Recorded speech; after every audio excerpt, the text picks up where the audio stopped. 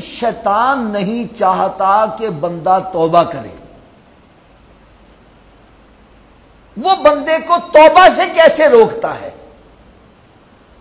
اور اس کے وسوسے کیا ہیں؟ اور ان کا جواب کیا ہے؟ میں نے آج یہی عرض کرنا ہے۔ سب سے پہلے اس کا وسوسہ یہ ہوتا ہے، اوے توبہ نہ کری۔ آج تو توبہ کرے گا، کل کو پھر وہی گناہ کرے گا۔ کیا فائدہ تیری توبہ کرنے کا؟ تجھے گناہوں کی عادت پڑی ہے تو نے باز آنا ہی نہیں ہے۔ آج تو توبہ کرے گا، کل پھر توبہ توڑ دے گا۔ نہ، چھوڑ توبہ کو۔ مت توبہ کر۔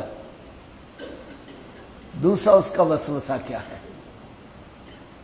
دوسرا وسوسہ یہ ہے، توبہ نہ کرو آج تو توبہ کرے گا، تیرے گناہ معاف ہو جائیں گے۔ اور کل تو تو پھر گناہ کرے گا، تو تیرے پچھلے سارے گناہ پھر شامل کر دیے جائیں گے۔ کیا فائدہ تجھے توبہ کرنے کا؟ لہذا وہ بندے کو ان وسوسوں میں ڈالتا ہے تو پھر بندہ توبہ بھی نہیں کرتا۔ اور ایک وقت آتا ہے بغیر توبہ کیے ہی مر جاتا۔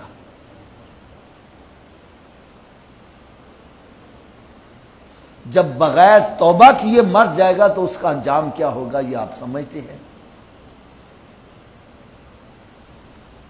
تو آئیے آج میں ان وسوسوں کا جواب عرض کروں۔ سب سے پہلی بات، بہت بندے ایسے ہیں جو شراب پینے والے ہیں، جوا کھیلنے والے ہیں، پاؤڈر پینے والے، سودی کاروبار کرنے والے، بے حیائی کا کام کرنے والے، بدکاریاں کرنے والے، زنا کرنے والے، بہت سارے ایسے بندے جن کے اندر گناہ جو ہے، ان کی نس نس میں رچ چکا ہوا ہے۔ وہ سمجھتے ہیں کہ ہم گناہ چھوڑ ہی نہیں سکتے۔ جب چھوڑ ہی نہیں سکتے توبہ کا کیا فائدہ؟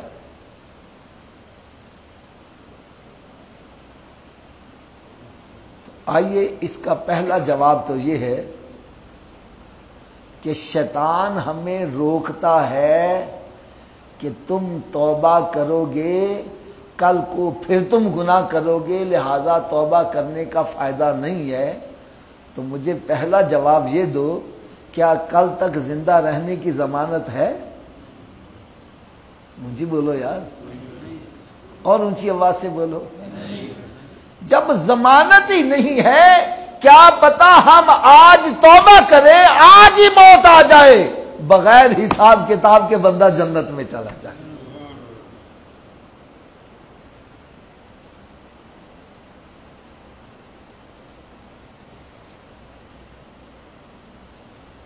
اللہ تبارک و تعالیٰ بڑا ہی قریب ہے۔ ارے، اس کے رحمت کے سامنے ہمارے گناہوں کی کوئی حیثیت ہی نہیں ہے۔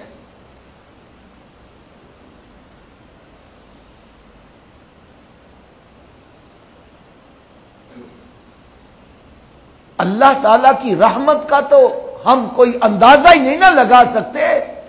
اللہ حضرت عظیم البرکت رحمت اللہ تعالی علیہ۔ سرکار دو عالم صلی اللہ علیہ وسلم کی شان کے اوپر کیا لکھ رہے ہیں؟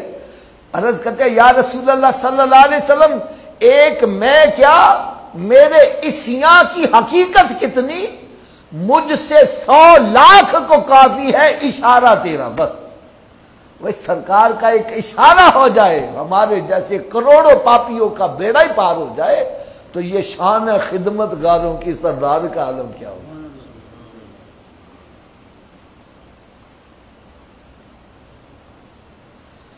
تو شیطان یہ جو وسوسہ ڈالتا ہے کہ تم نے برائی نہیں چھوڑنی، لہذا توبہ نہ کر، اس کے وسوسے پر اگر عمل کیا، بغیر توبہ کیے مر گئے تو انجام بہت برا ہوگا۔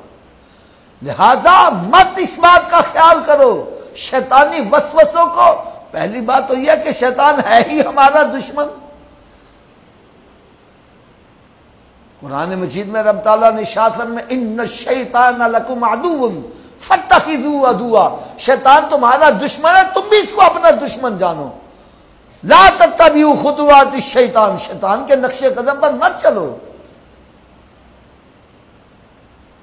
ان الشیطان للانسان عدو مبین۔ شیطان انسان کا کھلا ہوا دشمن ہے۔ تو دشمن کی بات مانتے کیوں ہو؟ مت مانو اس کی بات۔